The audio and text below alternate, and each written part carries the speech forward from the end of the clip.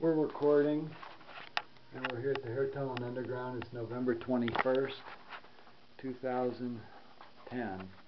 What's your name? Yeah. I'm sorry? Breanna. Breanna? And you got an awesome scorpion tattoo. Breanna's got long, pretty long blonde hair. And her sister is over here. What's your name?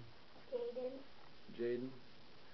Got long hair too. They've been growing their hair out. There's their mom, Des, Desiree.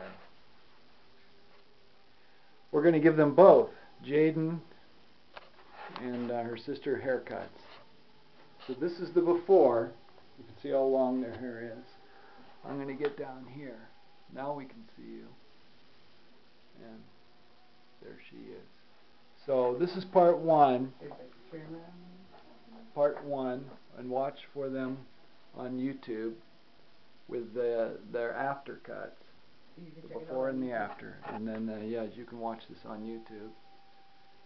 And um, that will be the part two. Okay.